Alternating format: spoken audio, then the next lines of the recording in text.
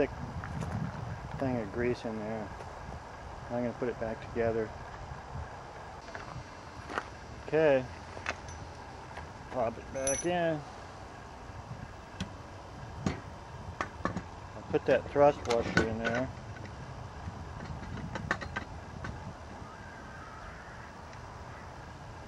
Now, got those marks so you can put this on properly.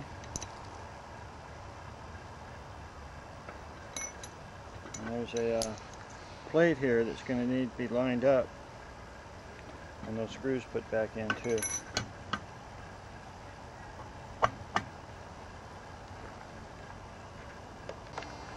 Okay, I'm screwing that plate in.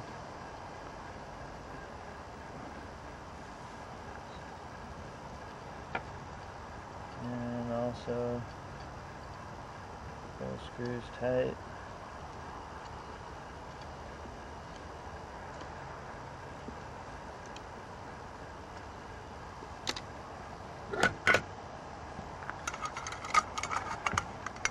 those marks lined up.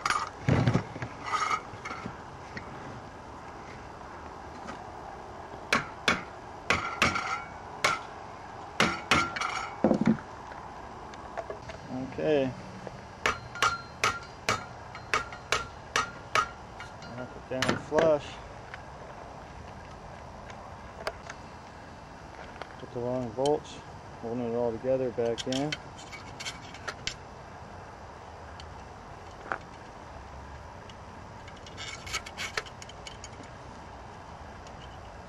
Etc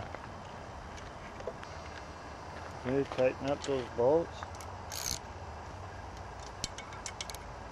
Do one side then the other side. A little bit tight first.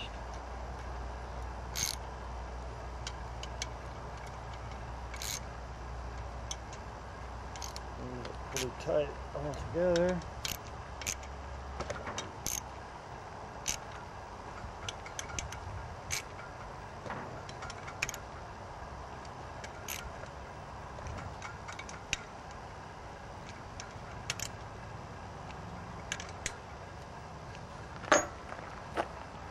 Okay.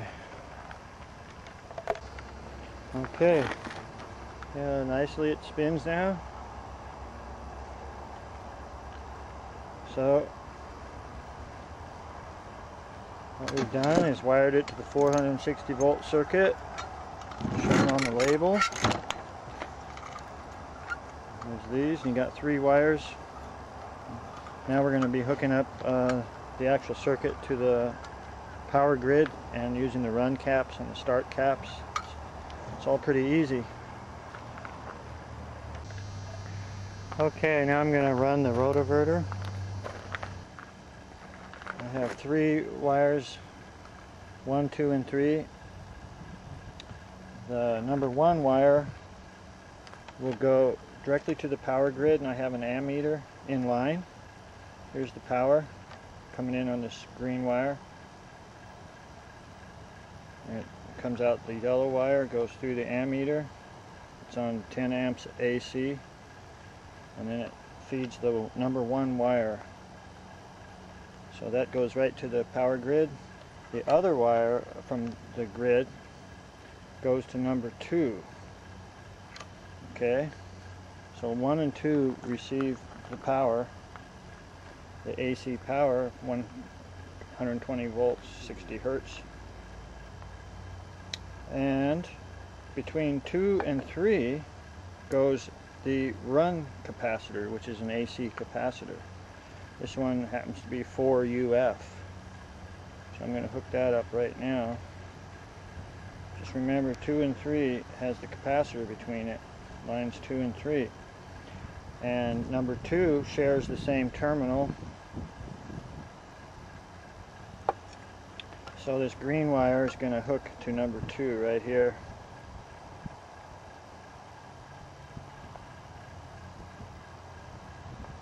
I'm going to put that right on it.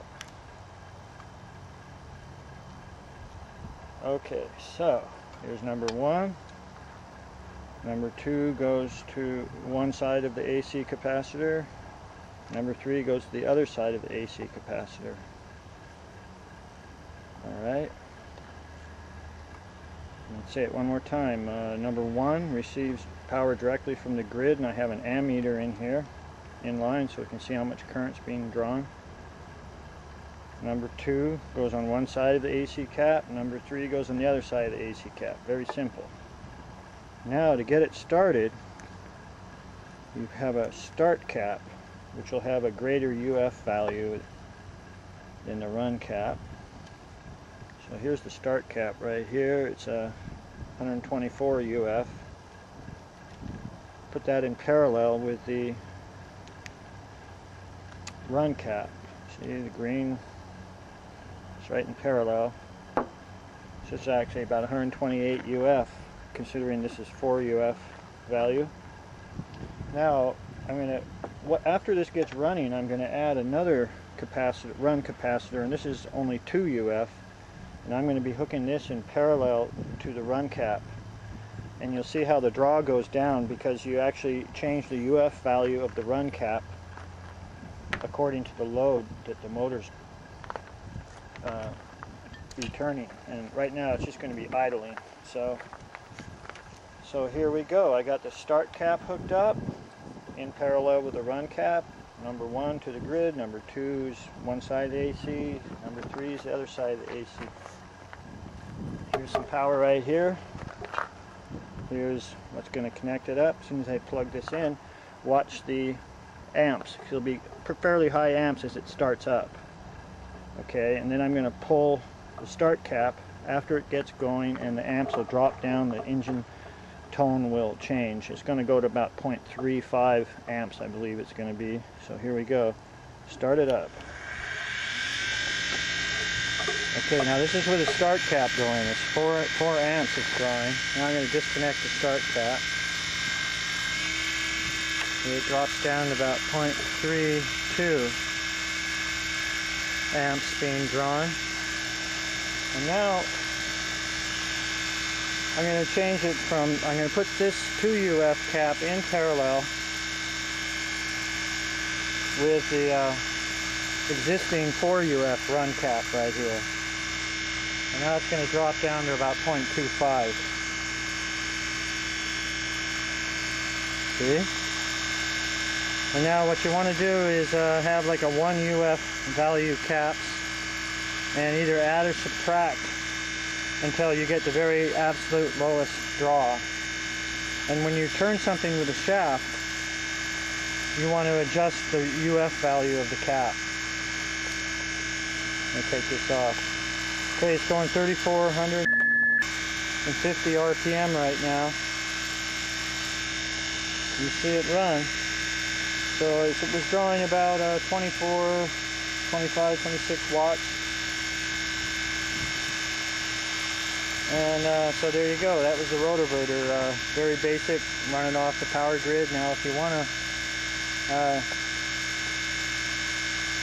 get better, do better things with it, uh, you want to have like a running off an inverter and have a frequency adjustment, have a pulse width adjustment inside the inverter, and also a uh, voltage adjustment, like say a variac.